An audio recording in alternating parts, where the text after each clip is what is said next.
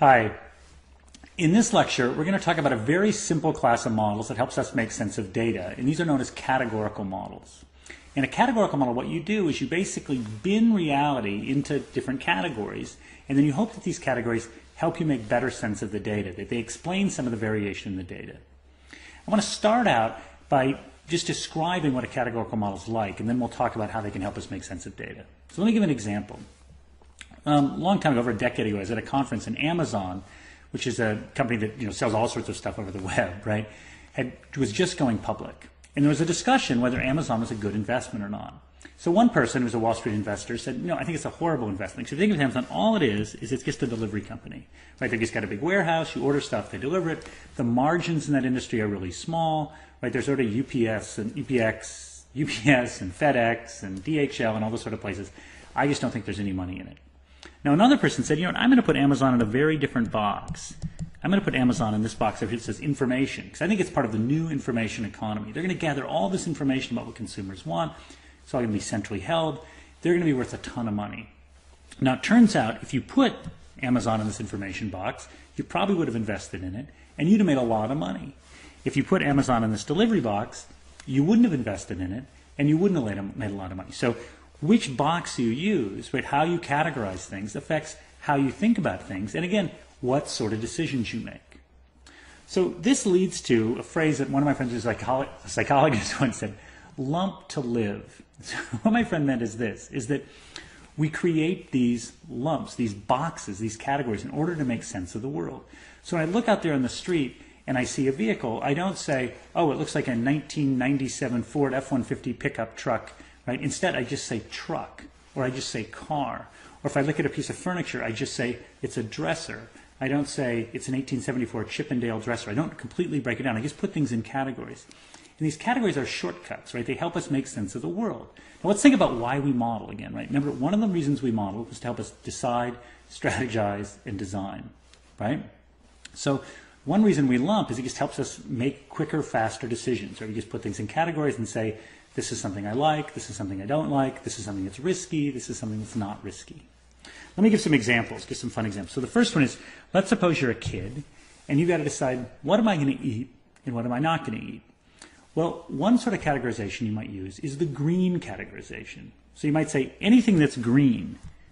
Broccoli's green, grasshopper's green, asparagus is green. All these things are green right? Everything else, bananas, those are yellow, candy bars, brown, orange, they're orange, pears. Pears can be green, but them are yellow. And strawberries, they're red.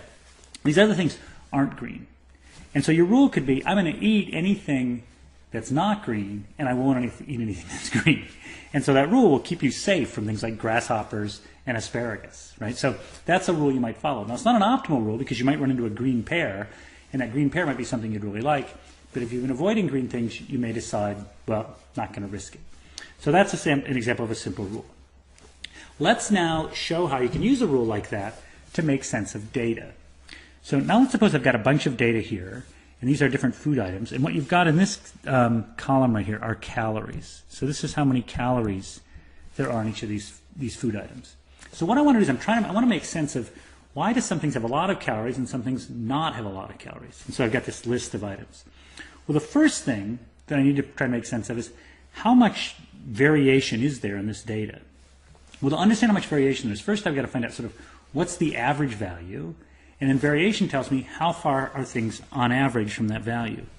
So if I add all this up, I've got 100 plus 250, that's 350, 440, 550, 900, right? So we've got 900 divided by 5, so that means the mean here is 180. So on average, everything in this group has about 180 calories. And I want to ask, some things are higher, right? This has 350 and some things are lower. This is 90. I want some understanding of how much variation there is in that data. So one way to do that, we just subtract the mean from everything. So if I take 100 minus 180, that's going to be minus 80. 250 minus 80, that's going to be 70. 90 minus 180, that's minus 90, right?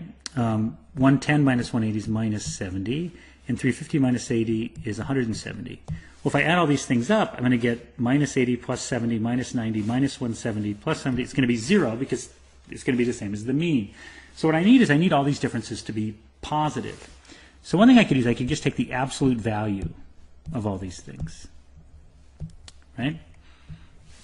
And then I could add up the absolute value and I could get 80 plus 70 is 150, plus 90 is 240, plus 70 is 310, plus 170 is 480. So I could say the total difference from the mean is 480. But what we do in statistics is we tend to do something different. We actually tend to take the difference and square it. And the reason we square it is really twofold. One is, is that again, it makes everything positive, which is what I did before. And the other thing is it amplifies larger deviations. Because what we'd really like to do is prevent those huge deviations. So this is going to amplify large deviations. So if I look at the pear, I would have 100 minus 180, which is 80 squared, which is 6,400. So that's how much variation there would be. That's the, how much the difference from the pear, pear to the mean squared. And if I did it for the cake, I'm going to get 250 minus 180, which is 70. And if I square that, right, I'm going to get 4,900. Now I could do this for everything, all of them, right? So for the pear, I get 6,400. For the cake, I get 4,900. For the apple, 81. For the banana, 49. For the pie, 28,900. So this is, again, if you get a long way from the mean and you square it, you get a huge effect. So square amplifies larger mistakes. Now if I add up all these numbers, I'm going to get 5320. That's what we call the total variation. So if I plotted that data, this tells me sort of how much variation is there in that data. And what I'd like to do, let's keep keep track of the plot here, I'd like to put the state in categories that reduces that variation, that somehow explains why some things are high and some things are low. So what's the obvious categorization? The obvious categorization here is that pears and apples and bananas are fruit, and cakes and pies, right, are desserts. So let's create a fruit category and a dessert category. So in the fruit, I've got one thing that's 90, one thing that's 100, and one thing that's 110. And in the dessert category, I've got one thing that's 250 and one thing that's 350.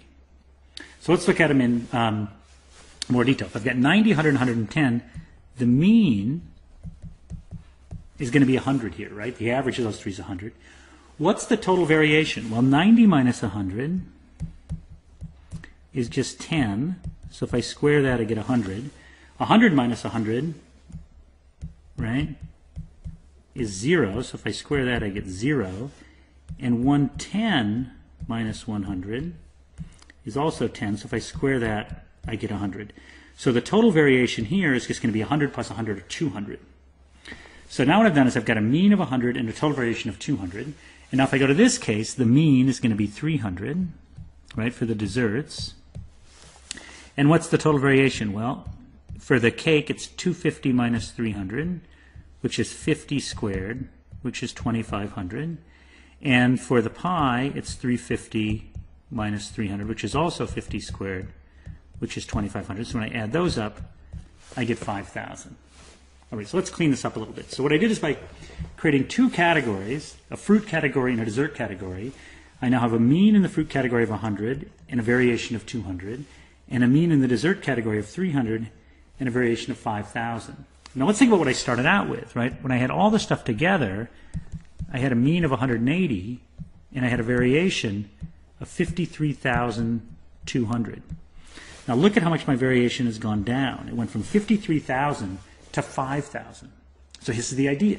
These categories substantially reduce the amount of variation I have left over. So think of the variation as what's unexplained. So initially I say, look, I can just say things on average have 180 calories and I get 53,000 units of variation that's unexplained. Now I say, look, I'm going to create a categorical model that says there's fruit and desserts, and fruits have fewer calories than desserts. And you can say, well, look, it, appears to be the case. Fruits have a mean of 100, desserts have a mean of 300, and the variation in the fruits is only 200, and the variation in the desserts is 5,000. So I've reduced variation a ton.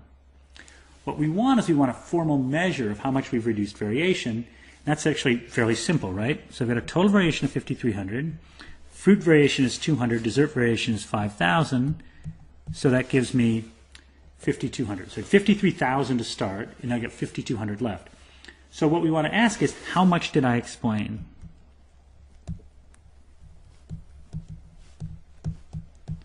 That's the question. How much of that variation did I explain? Well, the I started out with 53,000 right? 200. And I now only have 5,200 left over.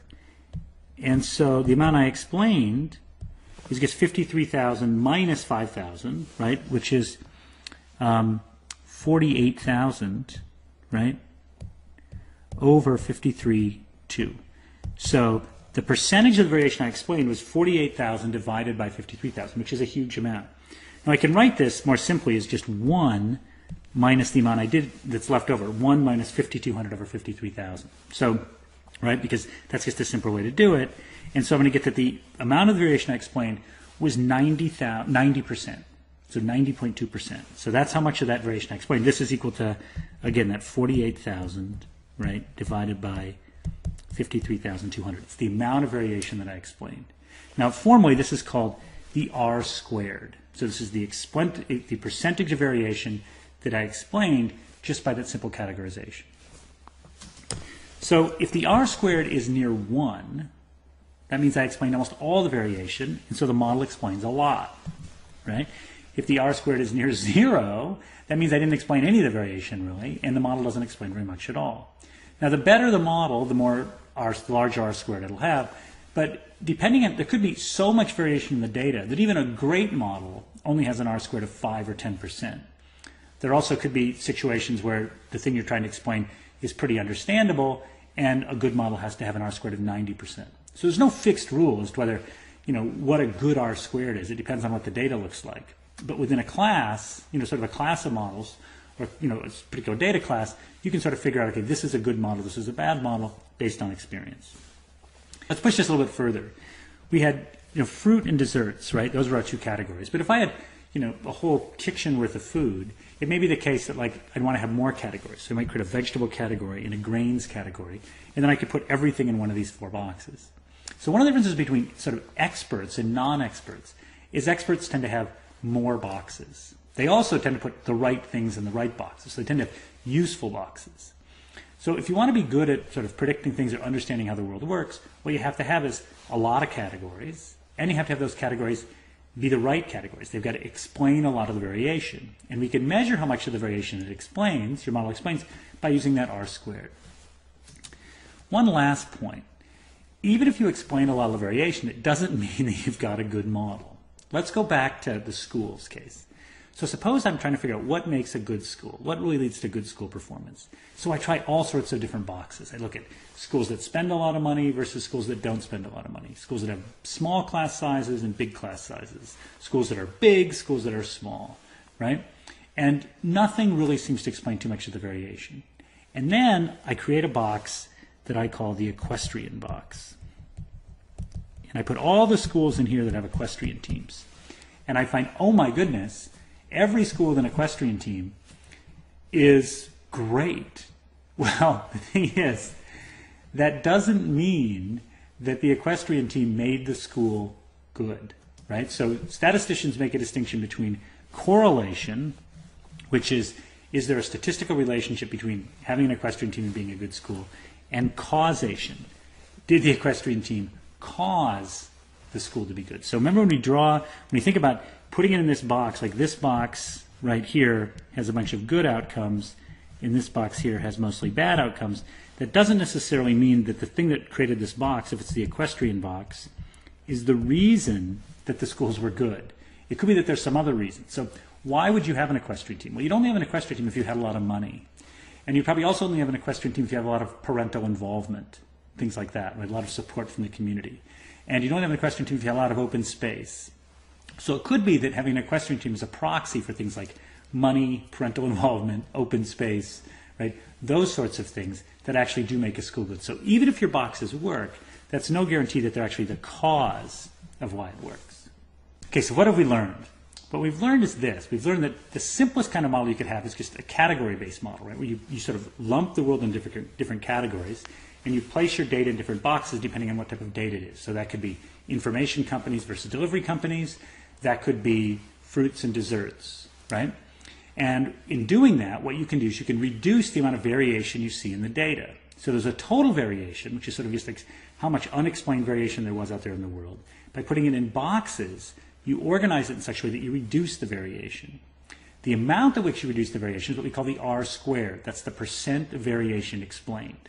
And the more variation you explain, the better your categorization is. Now, clearly, if you create more boxes, you can explain more of the variation. So where we're going next is we're going to get linear models, which in effect can create a different box for each value of x, our dependent variable. Okay, thanks.